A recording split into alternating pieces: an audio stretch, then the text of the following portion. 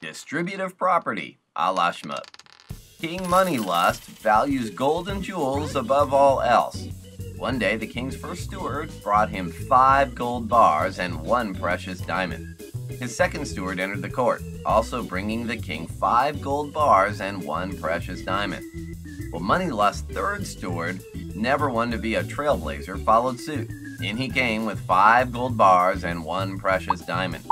Because Moneylust is a busy guy and hardly has time to sit around and count all of his riches, well, is there a shortcut he can use to determine how many he has of each item? Oh, you betcha.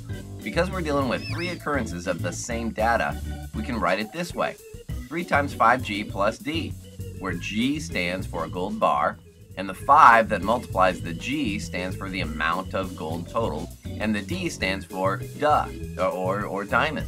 Well, the stuff in parentheses represents what each steward presented to the king five gold bars and a diamond. And because there were three of them, we can multiply the whole thing by three. Well, to simplify this expression, we can use distributive property. In other words, whatever is on the outside of the parentheses, we can multiply by each term on the inside of the parentheses.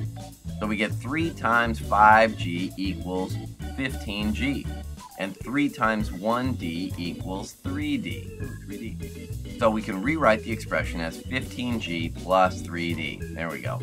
Moneylust was a tad displeased when he realized that his stewards had only brought him 15 gold bars and 3 precious diamonds. He punished them by forcing them to solve this problem.